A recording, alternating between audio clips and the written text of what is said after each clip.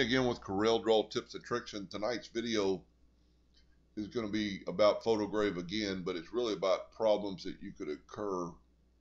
I had a viewer or subscriber send me this photograph of this buck and wanted me to help him with it. Well when he actually sent it to me this is the picture he sent to me and the picture is only 1.2 inches tall so whenever you're going to make a picture, let's say a 12 by 8 on a piece of tile,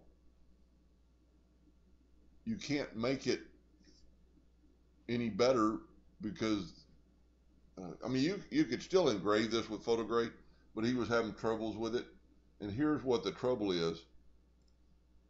I've zoomed this one up to an 8 by 12. I'm just going to zoom in on the deer's head.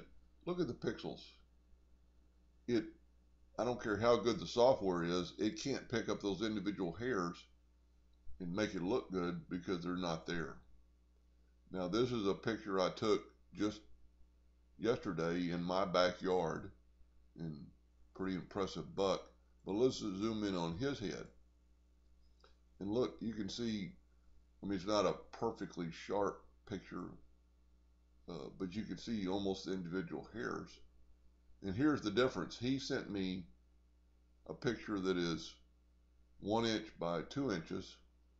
Here's my original picture that I took with my SLR digital camera, which is 72 inches. So I can reduce that down to a 10 by 12 and it's still going to be sharp because here's the original picture. It doesn't change it any.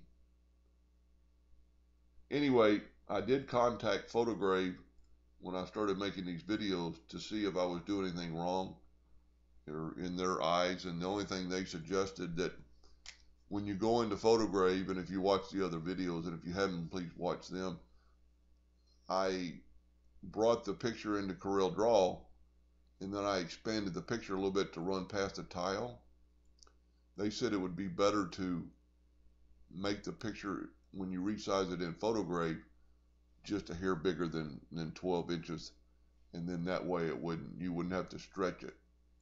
I don't personally think stretching it just a little bit would hurt, but evidently they're the experts. So that's a little tip for today.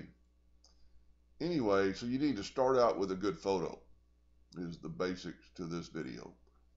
Anyway, hope that helped a little bit. Thank you for watching.